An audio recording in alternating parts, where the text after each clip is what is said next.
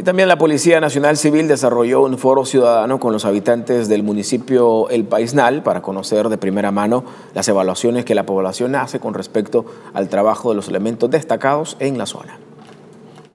Interactuar con la población, rendir un informe sobre el trabajo policial y escuchar las inquietudes ciudadanas en relación al trabajo de la corporación fueron los principales objetivos del foro que se llevó a cabo en el Paisnal. Los factores negativos para poder nosotros tener como desafío este, poder resolverlos con las diferentes situaciones que se puedan hacer. Por ejemplo, eh, uno de los problemas que más se presenta es el maltrato policial, ¿verdad?, hacia los ciudadanos, que creo que se puede resolver con, con, una sensibilización, con talleres, ¿verdad?, de derechos humanos que se pueden hacer y el contacto ciudadano que debe tener el policía con la comunidad.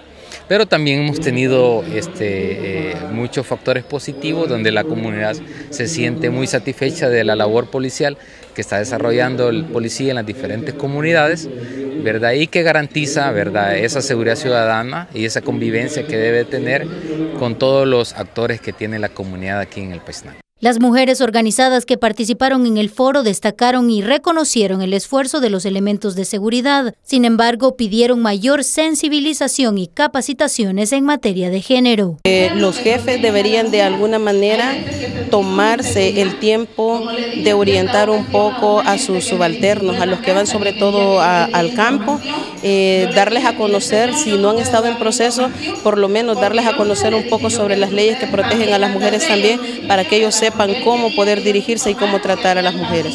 Aseguraron que la policía comunitaria ha mantenido un buen acercamiento con la población.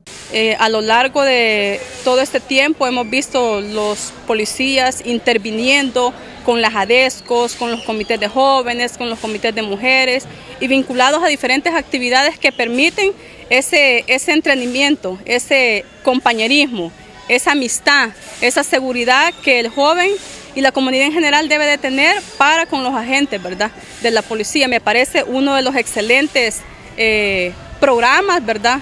Es una policía comunitaria con esa filosofía, ¿verdad? De poder eh, participar todos y todas en unión de un mismo objetivo, el poder tener libre nuestras comunidades, nuestro municipio y nuestro país sano coinciden en que integrar el trabajo policial con la comunidad es indispensable para que el trabajo en materia de seguridad y prevención de la violencia dé resultados positivos y permanentes.